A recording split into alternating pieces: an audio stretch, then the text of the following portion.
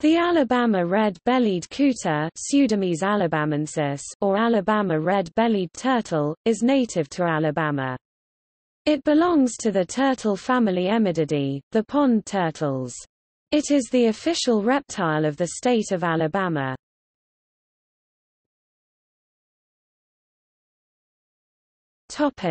Life history.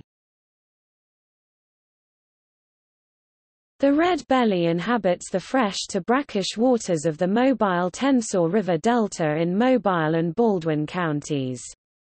It feeds on aquatic vegetation and can be found sunning itself on logs.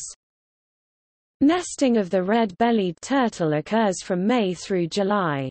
Female turtles lay their eggs on dry land, digging nests in sandy soil, where four to nine eggs are laid. Hatchlings usually emerge during the summer.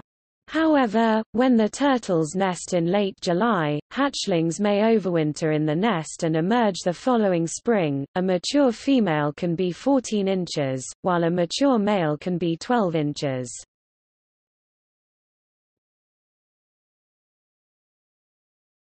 Topic: Location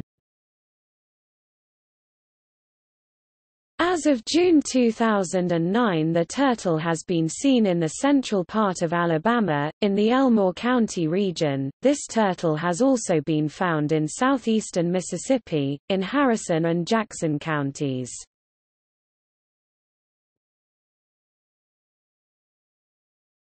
Topic: Protection